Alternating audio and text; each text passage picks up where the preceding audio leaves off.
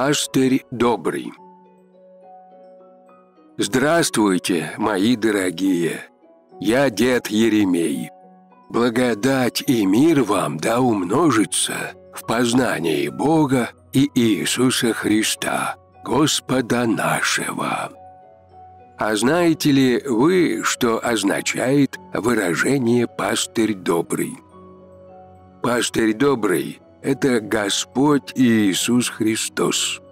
Также именуется и законно избранный и рукоположенный в лоне православной церкви священнослужитель, удовлетворяющий требованиям, предъявленным к пастырям Богом.